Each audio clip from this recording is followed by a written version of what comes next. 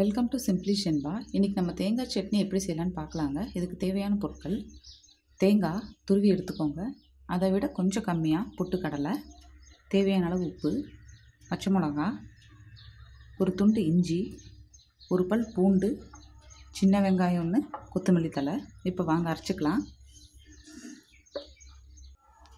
பாருங்கள் தேங்காய் சட்னி அரைச்சி எடுத்தாச்சு. தேங்காய் சட்னி எப்போவுமே தண்ணி மாதிரி இருந்தால் தாங்க நல்லா டேஸ்ட்டாக இருக்கும். எப்போவுமே இஞ்சி பூண்டெல்லாம் சேர்த்துக்கோங்க. அதுதான் நல்லா மனம் கொடுக்கும். இப்போ இதில் நம்ம தாளித்து கொட்டிக்கலாம். பாருங்கள் இப்போ எண்ணெய் சூடாயிருச்சு. கடுகு போட்டுக்கலாம்.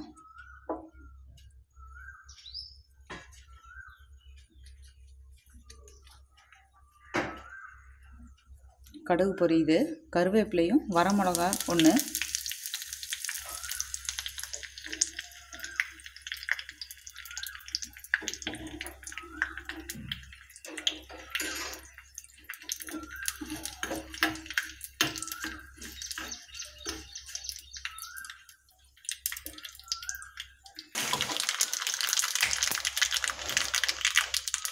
பாருங்கள் தாளிச்சாச்சு சட்னி ஆட் பண்ணிக்கலாம்.